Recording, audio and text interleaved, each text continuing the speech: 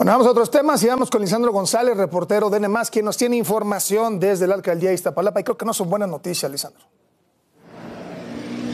Humberto, ¿qué tal? Buenas tardes. En efecto, no son buenas noticias. Se trata de Avenida de las Torres al cruce con la calle Lázaro Cárdenas, San Miguel Teotongo al oriente de la Ciudad de México en la alcaldía de Iztapalapa.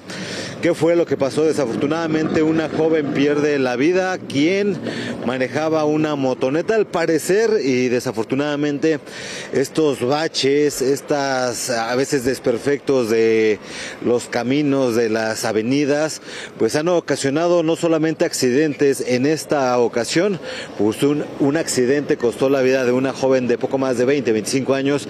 Ella cae en este bache y pierde el control de su motoneta, choca en la parte trasera con este camión que se encontraba estacionado y prácticamente de manera inmediata pierde la vida. Llegan elementos de Hospitalina y como vemos en estas imágenes de mi compañero Eric Pérez, también llega una unidad de los servicios periciales de la Fiscalía General de Justicia de la Ciudad de México, quienes van a hacer el levantamiento del cuerpo de esta joven y sobre todo van a realizar las investigaciones, pero eh, subrayar, y no es la primera vez que nos toca dar un reporte de esta manera, que algún bache, alguna coladera destapada le cuesta la vida a los ciudadanos que transitan por la misma. Vamos a seguir muy pendientes, sobre todo también qué va a pasar, qué va a pasar con la familia de esta joven y sobre todo qué va a pasar con este bache, si se va a reparar por lo menos en el futuro inmediato.